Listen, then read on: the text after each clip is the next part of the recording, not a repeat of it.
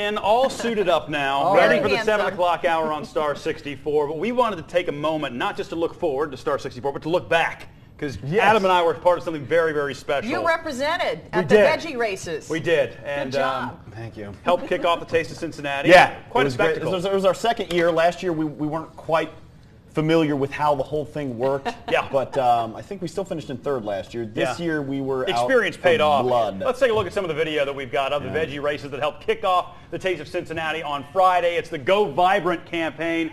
You, you you have an eggplant as the base of your vehicle, but there are 11 total vegetables, and you have to include upon your vehicle all 11 of those vegetables. Now, I don't want to give away Not too much. what led us to victory. But look at the end there. If you'll That's a see, strong finish. We have great finishing speed, and a lot of people would, were actually beating us going down, and then we would catch and we would pass. Wow. The celebration, the championship, Yeah. The physics. Good job. The physics. The Boy Scouts would be proud. And I want to thank you, Bob, for catching me when I leapt into your arms. anytime.